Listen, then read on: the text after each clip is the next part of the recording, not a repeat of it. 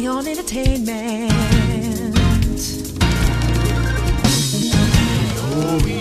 Eye on Entertainment. Keep it an eye, keep it an eye, keep it an eye, keep it an eye on, on entertainment.